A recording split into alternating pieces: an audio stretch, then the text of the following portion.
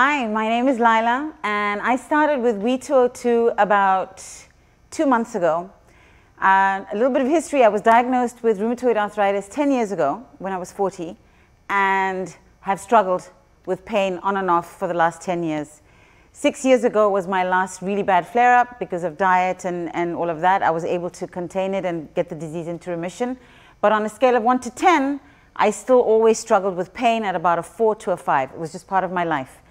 And once I started training here, I could not believe that after two sessions, my pain went from a 4 down to like a 1. It was barely there. I was getting out of bed, not stiff, not in pain, just unbelievable. This is something that I did not come here for. For me, it was about getting fit, losing some weight, toning, and um, having this as a bonus, being pain-free with whatever muscle stimulation is going on, improving the, my joint mobility, man, that's the cherry on the cake. I'm thrilled, I'm excited.